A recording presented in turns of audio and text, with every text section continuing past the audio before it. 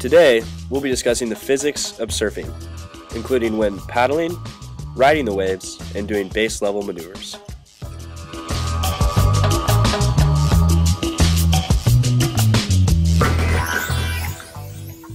At the root of all good surfing is the concept of the center of mass.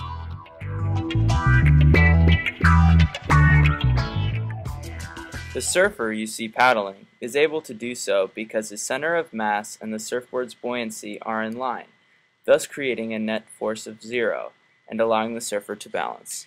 If the surfer was to move back on the board, the downward force of gravity would move behind the upward buoyant force, therefore creating an unwanted torque, causing the paddling motion to be ineffective.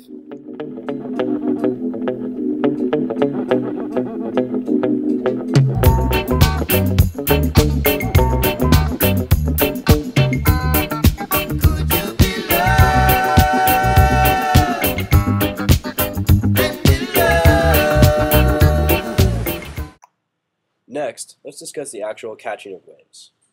Some surfers let all the vitamin D go to their head and set out to ride waves larger than hotel buildings. When waves get this large, a jet ski assist is needed, because as explained by this table you see here, the larger the wave's amplitude, the faster one has to paddle to catch it. The first and second columns explain wave height and speed, while the third demonstrates how fast one must paddle to catch this wave. The fourth column shows how fast a surfer will be traveling following their descent down the massive wave's face.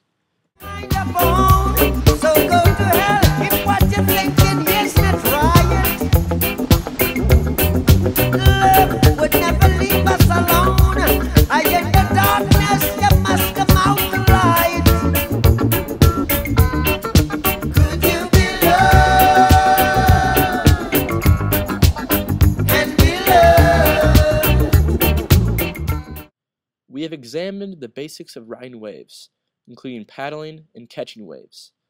Now that you are a certified expert, let's examine the next step, a maneuver called a cutback.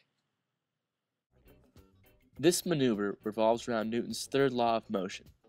This law states that for every action, there's an equal and opposite reaction.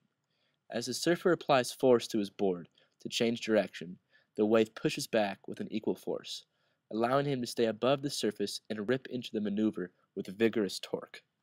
To review our presentation, we have studied the physics of paddling, riding waves, and the maneuver known as the cutback.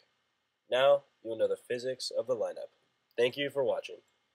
Oh, it's just like, dude, you get the best barrels ever, dude. Just like you pull in and you just get spit right out of them.